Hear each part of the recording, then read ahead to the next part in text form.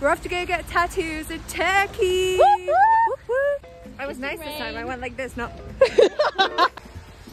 Sat at the back like cool kids. What do cool kids do? Made it, and Valeria's going first. It's her first tattoo, so she's a little nervous.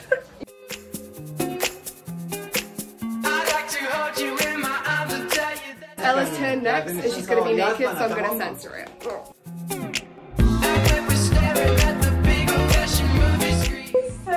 So bro. We've already gone for our tattoos, but we're gonna get a couple more in like 30 minutes. So we've just come to Burger King, replenish, and then we're gonna get matching tattoos. It's okay. Yes. No, I'm actually really scared for this one. I don't know why. Swimming pools, secret fountains. Tattoos completed.